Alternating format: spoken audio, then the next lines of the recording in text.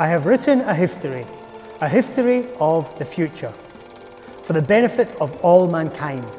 I have called this book The Shape of Things to Come.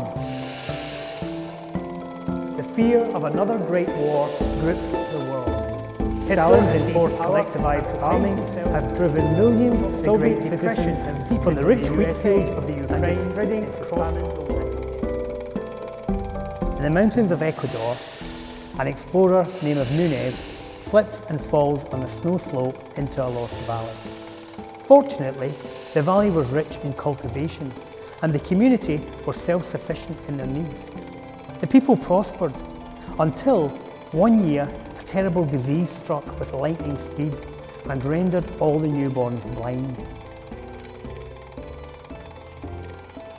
I often wondered what the future would make of me what year is it there?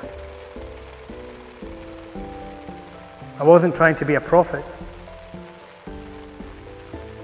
They were simply warnings, signposts on the journey to utopia.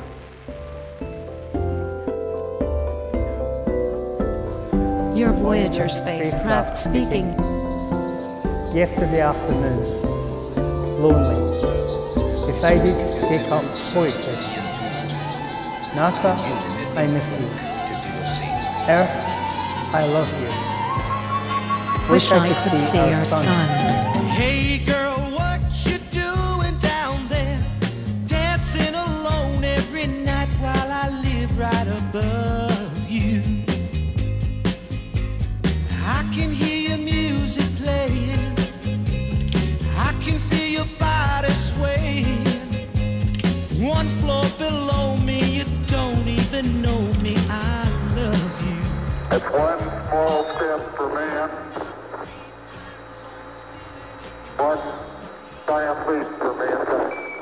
Listen, uh, 500 million people watched the first human being set foot on the moon, and I had to fall asleep. Living fully in the moment is the best defense against your fears.